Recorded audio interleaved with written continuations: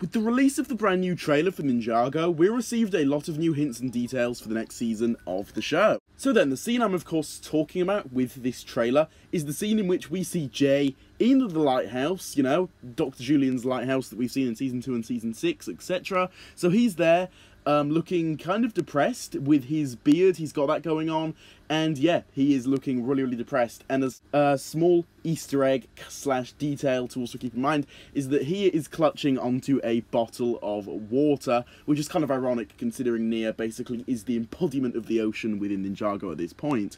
Well, my take on all of this and my theory is that Jay is depressed, and I think we can easily come to that conclusion just because of the fact that Jay now has a big beard. Now, usually, you know, when people are going through a really rough time in their lives, they wouldn't really bother to shave, and I think that's probably what's going to be happening with Jay here. It's a sign of him just not really taking care of himself in that way, and he's just kind of let his uh, his facial hair completely grow out, and I think that's kind of what this beard is symbolising and what it's going to be meaning within the season.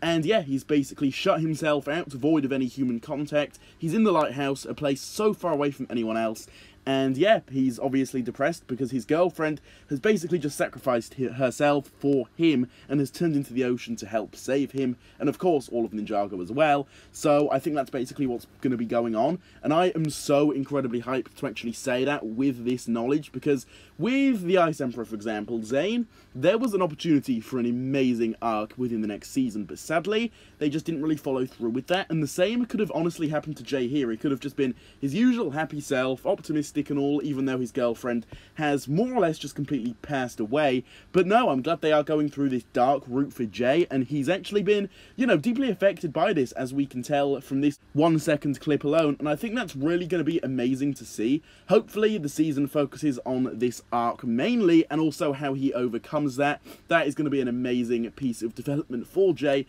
potentially being on par with what we saw him as in season 6 because that was an amazing arc for Jay. And this one it's looking really really promising to say the least. And the fact that Jay you know is just going to be going through this big amount of depression is going to be amazing.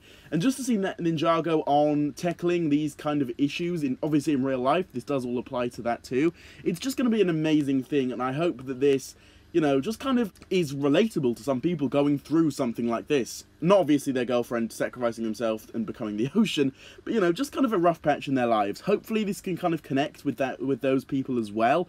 And yeah, overall it's just going to be amazing. I love Ninjago tackling more kind of real life dark issues like this, you know what I'm saying? And it's going to be amazing to see how Jay deals with this depression, how, you know, just how he's in this lighthouse and all of that kind of stuff, and how he overcomes this more importantly. And the fact that we can um, make out all of this from a pretty much one second clip of this in the intro is just such a amazing thing and I think this is really shaping up to be something incredible potentially one of the best things to come out of this upcoming season. But yeah, just kind of wanted to give my two cents on all of this, and I hope you guys do see where I'm coming from and also agree with me on this. But yeah, that basically does sum up today's video.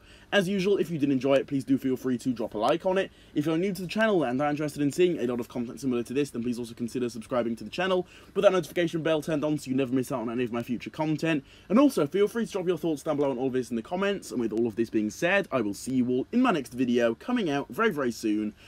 Goodbye.